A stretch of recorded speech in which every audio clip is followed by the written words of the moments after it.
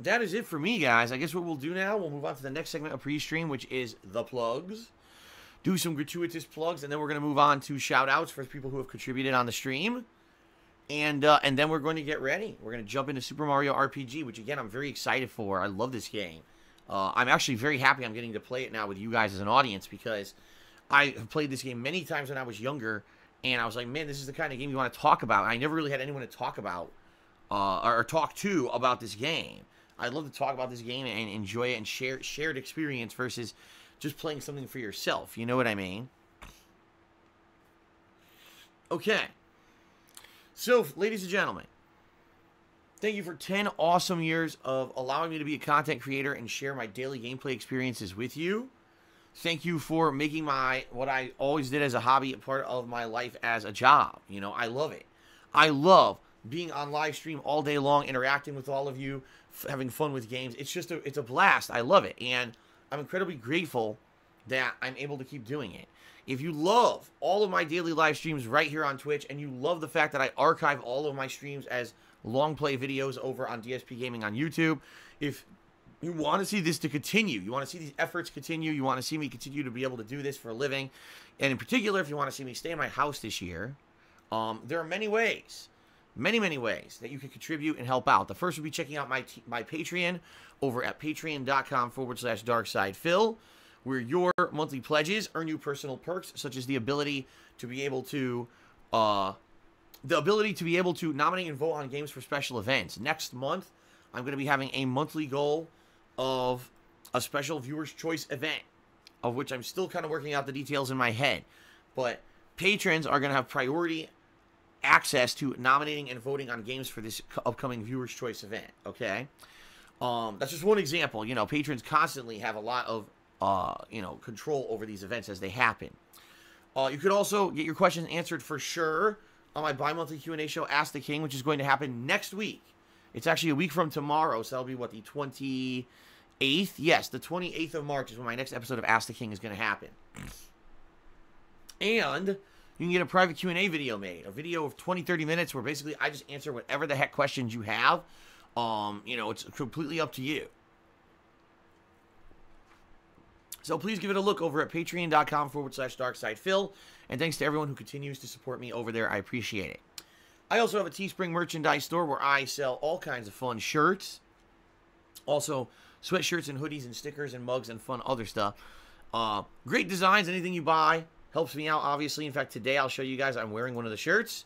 I decided today i would wear the i'm pushing buttons shirt. Excuse me i'm pressing buttons shirt um, which does relate to fighting games. But in particular today i played super mario rpg where you need to have timed button presses during the animations of the attacks to either dodge damage or deal extra damage. So it's a pertinent day to be wearing the shirt right um, I can attest to the quality of the product because guess what? The product, I own it. Obviously, I'm wearing a shirt right now. And I've owned a lot of these shirts now for over two years. I can personally tell you these shirts have not worn out at all. You know, and I wear them at least a couple times a month. And they don't wear out. They're really good quality stuff. And I know you're going to like it. All right. So please give it a look. Teespring.com forward slash stores forward slash DSP Gaming. Good stuff. All right. Now, if you're here live on the stream and you want to contribute, you want to jump in, I told you this is going to be a very interactive stream because we're doing an RPG. It gives lots of opportunity for me to be able to talk with you guys because it's turn-based and slow-paced. That being said, if you want to get a shout out during today's stream, if you either cheer with bits, subscribe to the channel, or tip me, all those three things, I will give you a verbal shout out during the stream as long as you know your message is in line with the rules of the stream and you're not saying things that are insulting, and you're not bringing up you know things that are unrelated and just derailing. You know what I mean? Um, so good stuff, right? Anything that you contribute, you're gonna get a shout out, get some recognition. As you can see at the top of the screen, we got a Stream Stats leaderboard where I'll constantly be updating for the top cheerer and top tipper of today. So, you know, another opportunity for you to get noticed. And if you guys didn't also notice, the cheering leaderboard that is integrated into the Twitch chat also updated um, and is relatively low low amount. So right now, great opportunity for those who want to get in on that and, and get recognition to jump in and get it early before those totals accumulate over the course of the week. Okay. So all around, great opportunities for recognition. Um, in particular, right now, ladies and gentlemen, if you want to help me out the most, the best way you could do it is by tipping me. Because tipping me, those funds go straight to my bank account and allow me to pay bills, i.e., to save that up and pay the taxes next month. All right. So I appreciate any contributions, and I don't look a gift horse in the mouth. I'm grateful for everything. You know, if you, you cheer, sub, or tip, amazing. Thank you very much. But right now, in the short term, with less than a month to go, the best way you could help me is by tipping me. Okay. So please consider it. Um, there's a tips jar button below the stream you can click on. That's one way to access my PayPal tips page, or you can type exclamation point tip into the stream chat. That'll bring up the link that you can click on. And by the way, you can either be anonymous, meaning you could do an anonymous tip with zero information attached to it and no one will know who you are, or you can leave your name in a message if you actually like some some recognition. Now, the reason I say that is because some people have been nervous about contributing and then having people try to harass them online for who they contribute to and the like. That's why we have this anonymous option, all right? So please consider it. By the way, you can also do anonymous cheers and anonymous gifting of subs right now. These are all new options that Twitch has integrated in the last couple of months. And I'm appreciative of that because every day it seems like I get some anonymous cheers or anonymous gifting of subs. So I appreciate all that. But again, best way to help me right now would be tipping me. Okay? All right, so thanks in advance to anyone who decides to contribute today. What we'll do now is give some shout outs to those who have contributed today. Okay? Um let's go ahead and jump over to Oh my god. There it is. Let's jump over to my Muxy, which is tracking all of your your contributions.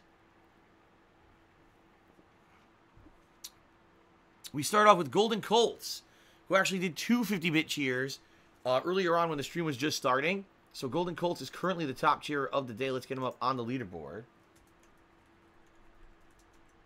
Thank you, Golden Colts, for your support. Um, then we had Mimi the Copycat, who tipped me a dollar and said, Hey, Phil, I really love this game. Would you potentially check out in the future the spiritual successor, which is the Paper Mario series, like the first game on N64 and so on? Um, I would definitely consider that because here's the thing. You know, Super Mario RPG I absolutely love, and it's been a fun nostalgia trip just playing the first four hours. I'm sure the further I get in, I'm gonna you know enjoy even more. I actually really like Bowser in the game, so now that I've unlocked Bowser, I think it's gonna be pretty cool to play with him more today. Okay, um, but yeah, like I never played the Paper Mario series. Never. The only one I played was Paper Mario and the Thousand Year Door, and I believe that was a GameCube game. And I played that for a little bit, like a few hours. I actually liked it, but I never continued on with it. Um, so in reality, I've had no exposure to the Paper Mario franchise. If people really like, you know, my playing of Super Mario RPG, or even if it's not a super popular playthrough, but if we have a core group of gamers who really like it and would like to see me do stuff like Paper Mario and are going to come out and be supportive and show up to the streams, etc., yeah, I would definitely I would consider it because it's a game franchise I've never experienced. So for me, it would be a first time thing. That would be pretty sweet. You know, be like playing new games. So, absolutely, I will say yes. Um, I would consider it. So there you go. Um, but anyway, I want to get you up on the leaderboard, Mimi. Hold on, Mimi the copycat. Okay, let's get you up here for top tip of the day.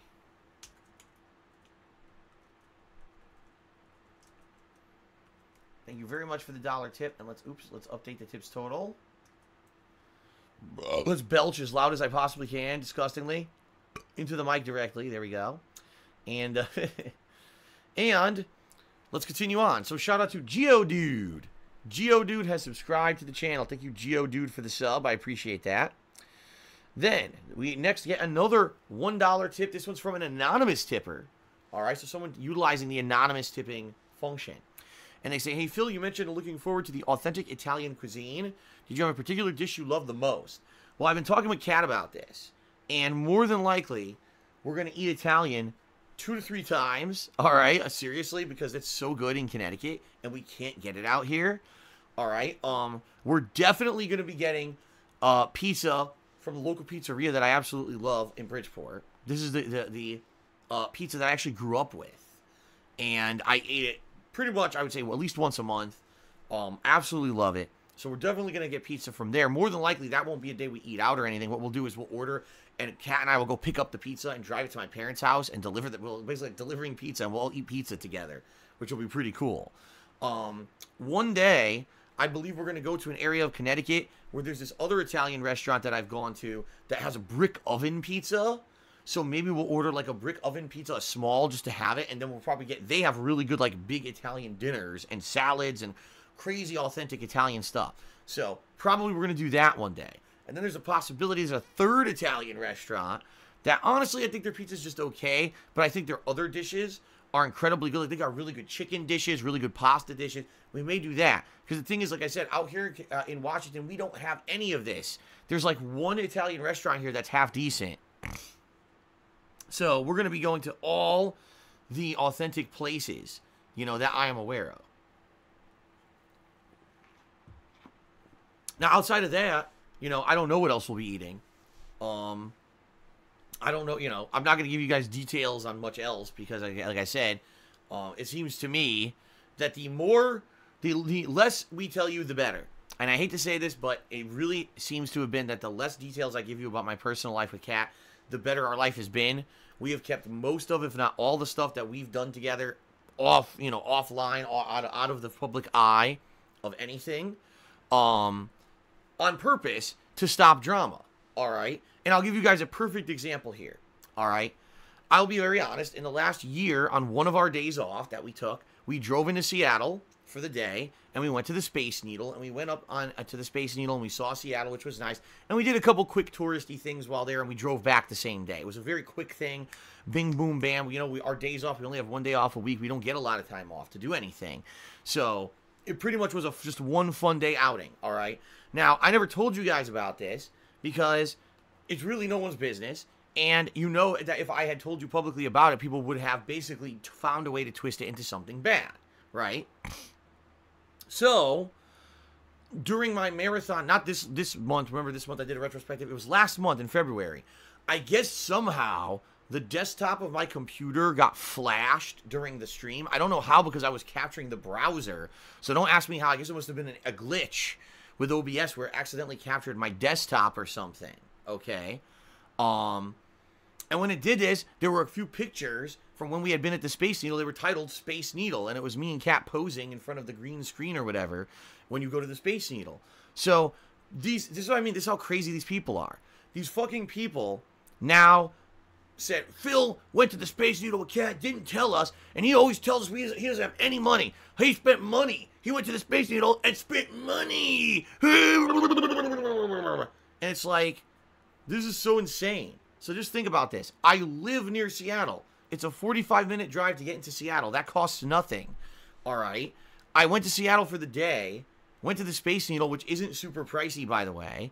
Went up, you know, we did a couple, like I said, a couple touristy things. We got some food while we were there, and then we came back home. So it was basically a nice day out for us, okay? But these idiots, you know, they twist it into Phil must have spent thousands of dollars in Seattle that day. You know, he tells us he has no money, then he went to Seattle and spent thousands of dollars. It's like, what the fuck are you talking about? You know what I mean? It's just insane. You know? But that's the bottom line is that's what these idiots do. They take little innocuous things from real life and turn them into giant overblown dramatic garbage. That's just you know a common person would hear this and say, oh, that's something nice. Phil lives, you know, right outside Seattle, and he took his girl into Seattle for the day, and she, you know, showed her around, went to the Space Needle or whatever. That sounds like a pretty normal thing a normal person would do. But these idiots, that's it. It's like World War Three with them. Like, oh my God, Phil didn't tell everyone publicly he went to the Space Needle. It's like you're out of your fucking mind. You know, seriously, you're out of your mind. So that's what I mean. You know, you're asking me about, gee, what else will you be doing when you go to Connecticut, Phil? You want to tell us? I'm not telling you anything. I'm seriously can't tell you any specifics of what we'll be doing, when we'll be doing. I can't. Because the bottom line is these idiots are so insane that they will actually take any little snippet of information and find a way to twist it into something horrendously bad. And I'm not going to do that. That's why I've kept my, my private life with Kat out of the public eye for over a year now, and it's gone really well. So sorry that I can't really share. Um, sorry that I can't really share any information with you guys about any kind of, uh, you know, complicated. stuff. I can't. I can't share any information with you at all because the little bit I do will be the end undoing of everything. You know what I mean? So, you know, uh, if anything, after the trip is over, then maybe I can tell you guys. I come back and do a vlog, a special stream a vlog to tell you guys about how the trip went or something, you know. Um, but I can't do that now, not before the trip. That would be like insanely stupid. I know how these people operate, okay? yeah, here you go. Philly Buckeye in the stream chat just says the detractors are already making things up that you're doing this marathon to make, make enough money to go to, to pay on a very expensive vacation with Kat. No, again, I've said this a million times. This upcoming trip, I'm not paying for it all. This is my parents footing the bill for everything, you know, for the plane, for the, the transportation and everything, because, you know, I can't afford it. And they want to spend time with me and Kat. Like I said, the whole purpose of this trip is to spend time with them so that Kat gets to meet them and spend time with them before it's a bad reason to go. Like right now, my parents aren't in the best of health, but at the same time, they're not decrepit and falling apart. You know what I mean? So now is a good time to go visit them so that the next, you know, God forbid the next time something horrible, at least we've got to spend some cool, good quality time with them. You know what I mean? And the other purpose is to show Kat around Connecticut so she gets to see my roots, where I came from, and everything. It's a really nice trip. And it's a really nice thing my parents are doing for us. Um, that would not have happened if they didn't. You know, think about it. I've been here since the last time my parents visited was 2016. I haven't gone anywhere since I've lived here. I haven't gone anywhere, right? I don't have money for it. So that's why how ridiculous this whole situation is. People making shit up, right? They're morons. But anyway, um, you know, it is what it is. That you know, I, I, that's as basically as much as I can tell you at this point. Um, like I said, after the trip's over, sure, maybe like I said, when I come back, I'll do a special stream where for a couple hours I'll just tell you about all the trip and all the fun stuff that we did. Um, and you know any information anything that happened that was really neat i could tell you a night it'd be a nice vlog i think okay? Okay so there you go. Uh, let's continue on. Bent boxer cheered and said have you watched the trailer to tarantino's once upon a time in hollywood as brad pitt leo dicaprio margot robbie bruce lee marilyn manson etc no. Nope. I have not seen it at all. I know nothing about it. So there you go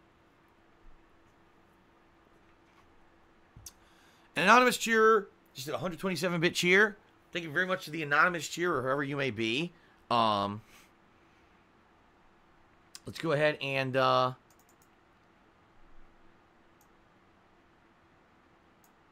let's go ahead and get this up on the leaderboard here.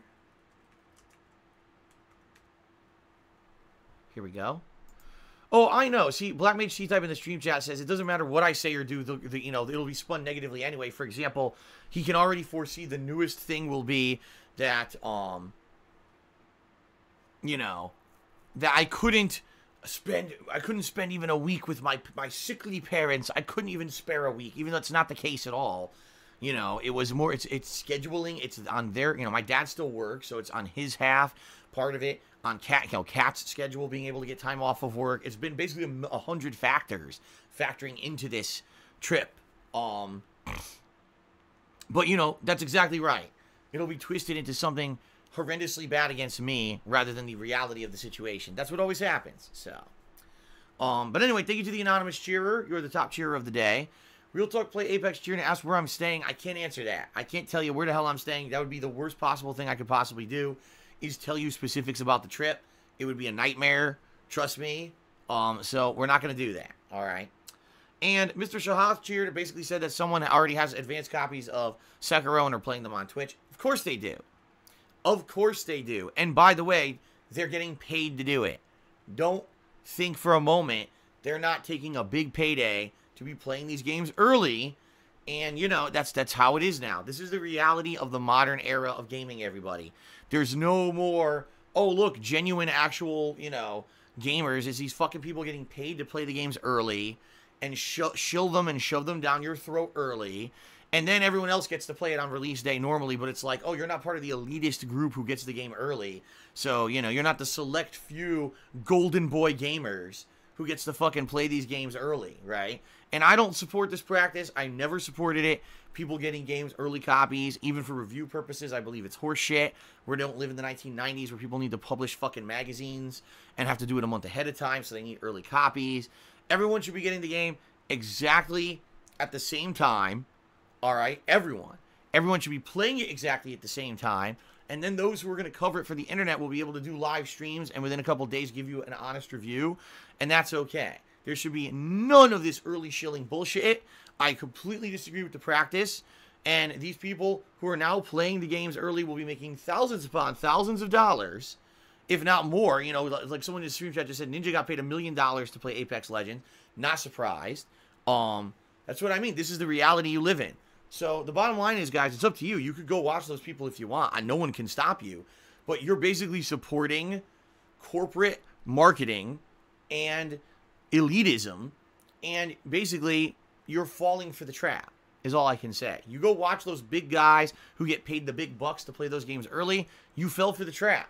You from you basically fell into the, the black hole of early game promotion and the like and basically it's going to hurt the industry eh, you know more than help it it does it hurts things more than helps it um, you make the wrong people rich and uh, you know because they're butt, bootlickers and butt kissers they get everything for free. They get everything early. They get special treatment you know. And that's why they bring in the big views because they're the golden boy few right? Is that who you want? Is that all you really want? Do you really want twitch to become a website where there's 10 people who play everything early and get access to everything and they're the only ones who can make a living doing this? And everyone else who you love the genuine gamers the people who actually care about the industry the people who actually care about you all right and how you spend your money those people do you want them to go away because they don't get opportunities anymore? Because that's pretty much what's going to happen if it you know keeps going down this uh this road. Just being honest here. It is. That's exactly what's going to happen is you're just going to have 10 people who do everything and no one else will be able to do anything, you know. Um, and that's unfortunate, but that's where we'll go if you if you follow those trends and this sheepish mentality of oh my god, someone's playing Sekiro two days early, I gotta go watch that. You know, well, go ahead and, and line their pockets with fucking money, undeservedly, and uh, you know, or you can actually, you know, watch someone who doesn't treat, treat you know think that they're better than you or act like an elitist or get special treatment and we could all enjoy stuff together at our own pace. You know what I mean? Um, that's totally up to you. There's nothing else you know I, have to say about it. It's you know your it's always going to be your personal choice what you do with your time and your viewership. So I am incredibly appreciative. All right, incredibly appreciative of those who come out and watch my stuff on a daily basis. As you know, I am certainly not in any kind of a uh, prominent view viewing or or, or you know I'm the last person on the totem pole. You know what I mean? When it comes to getting any kind of special treatment or whatever. So. okay. Eternal Napalm Cheers is the limb you've lost will make way for something more useful. You'll learn to appreciate its worth. I have no idea what that's a reference to, but thank you, Eternal Napalm, for the cheer. And your boy Lem has subscribed to the channel for three months. He says two months and counting. Actually, it's three months according to, you, uh, to uh, YouTube, according to Twitch. So, let's see here. Oops.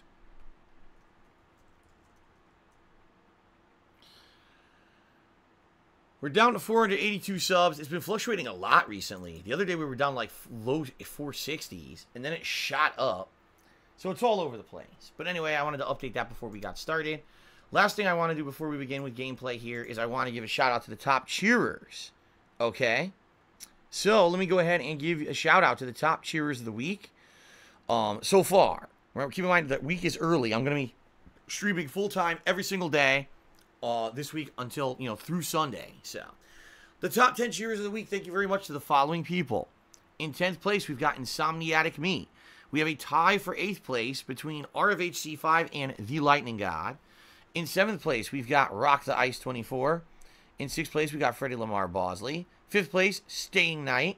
Oh, actually, it's a triple tie for 3rd place between Staying Night, Gary, and Judicious Echoes. So thanks, you guys. Second place, Iceman. And in the first place this week, Hyper Viper Beam, a person who, honestly, I don't think has ever really attended my streams before, started watching me play Street Fighter the other day, loved it, and was incredibly supportive and, you know, has been supportive all this week. So thank you to Hyper Viper Beam very much.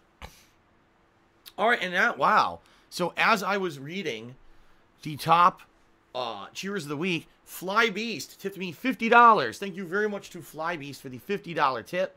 Let's go ahead and update the tips total for the day and also update the top tipper for the day. Much appreciated, Fly Beast. Very much. Thank you. We're now up to $52 in tips for the day. So thank you, Fly Beast, for that very generous contribution. Again, guys, just a quick reminder before we start. The absolute best way to support me right now is tipping me, even though I appreciate everything, cheering and subbing as well. Tipping me helps me in the short term with this tax situation. So please consider tipping. There's two ways you can do it. Below the stream, there's a tips jar button you can click on, or you can type exclamation point tip into the stream chat, and you can either be anonymous or you can leave your name and a message to get credit during the stream. It's all up to you what you want to do. Okay, guys? All right. So I have to